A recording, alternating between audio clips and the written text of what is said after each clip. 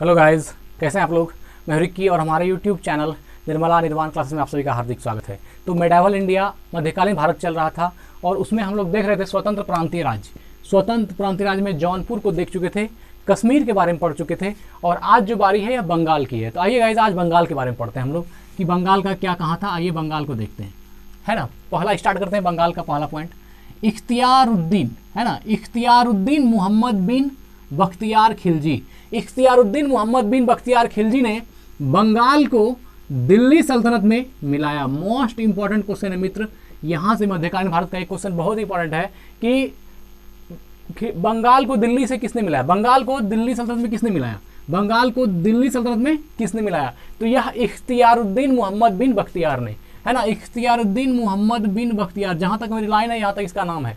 इख्तियार मोहम्मद बिन बख्तियार खिलजी। इख्तियार मोहम्मद बिन बख्तियार खिलजी ने क्या किया गाइज़ बंगाल को दिल्ली सल्तनत में मिलाया। बंगाल को दिल्ली सल्तनत में किसने मिलाया? तो इख्तियारुद्दीन मोहम्मद बिन बख्तियार खिलजी ने। आगे देखते हैं।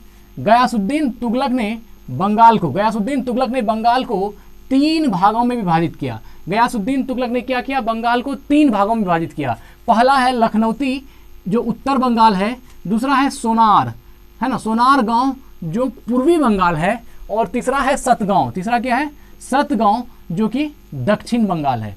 तो गयासुद्दीन तुगलक ने बंगाल को तीन भागों में विभाजित किया। बंगाल को तीन भागों में किसने विभाजित किया? गयासुद्दीन तुगलक ने। और कहा, किस किस पार्ट में बांटा? तो पहला लखनऊती, उत्तर बंगाल।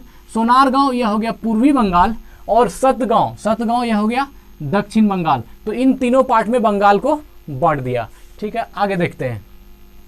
1345 ईस्वी में हाजी इलियांस, है ना, हाजी इलियास।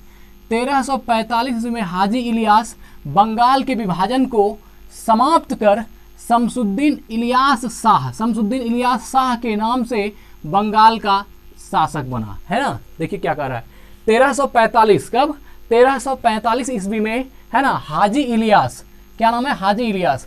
1345 ईस्वी में हाजी इलियास बंगाल के विभाजन को समाप्त कर मतलब बंगाल के विभाजन को हाजी इलियास ने समाप्त किया, है ना गाइज़ 1345 ईस्वी में हाजी इलियास बंगाल के विभाजन को समाप्त कर, शमसुद्दीन इलियास शाह, क्या नाम रखा अपना?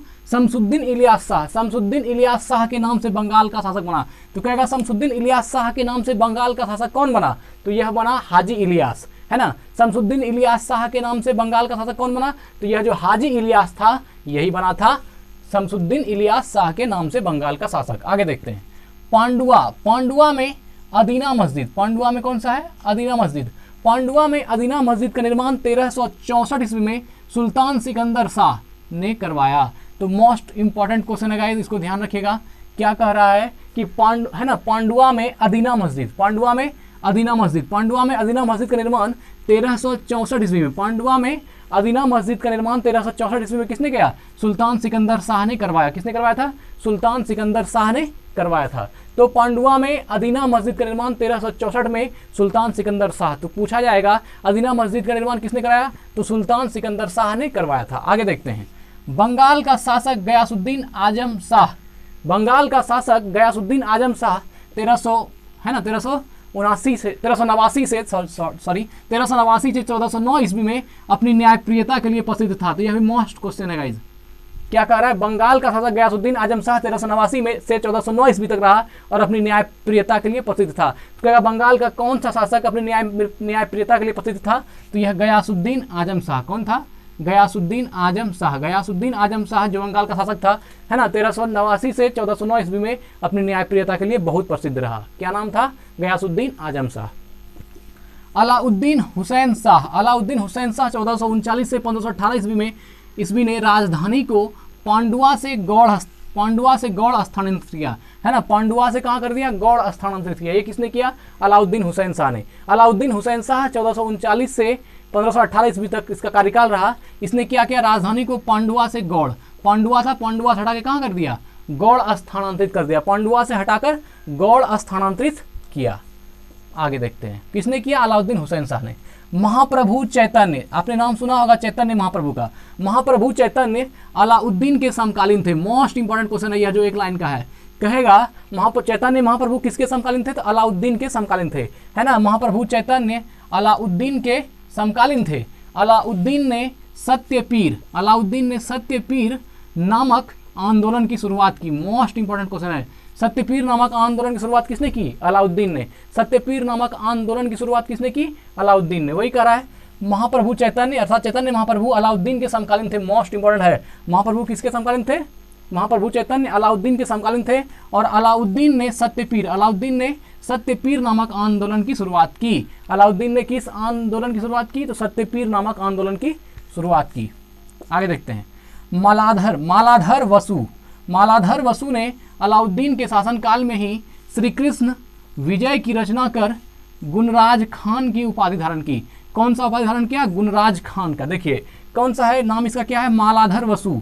मालाधर वसु एक शासक होंगे। मालाधर वसु ने अलाउद्दीन के शासनकाल में ही, सॉरी, नहीं नहीं मालाधर वसु ने अलाउद्दीन के शासनकाल में ही श्री कृष्ण विजय की रचना और राइटर है।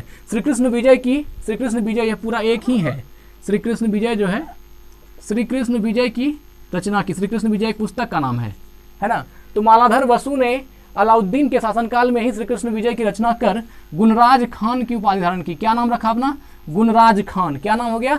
गुणराज खान की उपाधि धारण की। क्या नाम था? मालाधर वसु और उपाधि कौन सा लिया? गुणराज खान का। और कौन सी रचना थी? श्री कृष्ण विजय की रचना कर।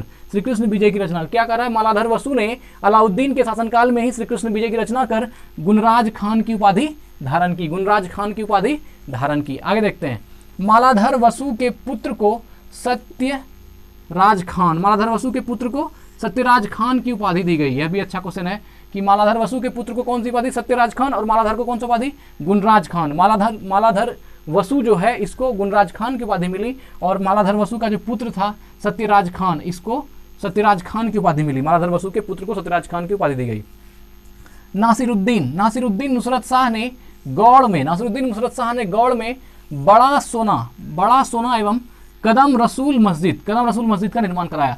कदम रसूल मस्जिद का निर्माण किसने करवाया? तो नासिरुद्दीन नुसरत शाह ने। नासिरुद्दीन नुसरत शाह ने, नासिरुद्दीन नुसरत शाह ने। क्या करा गाइज़ नासिरुद्दीन नुसरत शाह ने गौड़ में, कहाँ पर? गौड़ में। नासिरुद्दीन नुसरत शाह ने गौड़ में बड़ा सोना, कौन सा? बड़ा सोना एवं कदम रसूल। बड़ा सोना एवं कदम रसूल मस्जिद का निर्माण कराया। बड़ा सोना एवं कदम रसूल मस्जिद का निर्माण किसने कराया? नासिरुद्दीन नुसरत शाह ने। नासिरुद्दीन नुसरत शाह ने, नासिरुद्दीन नुसरत शाह ने गौड़ में, नासिरुद्दीन नुसरत शाह ने गौड़ में बड़ा सोना बड़ा सोना एवं कदम रसूल मस्जिद।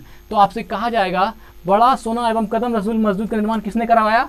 तो यह करवाया नासिरुद्दीन नुसरत शाह ने। किसने कराया? नासिरुद्दीन नुसरत शाह ने। है ना? नासिरुद्दीन नुसरत शाह ने गौड़ में बड़ा सोना, क्या लिखा नाम? बड़ा सोना एवं कदम रसूल मस्जिद, बड़ा सोना एवं कदम रसूल मस्जिद का निर्माण करवाया। नासिरुद्दीन नुसरत शाह आगे देखते हैं।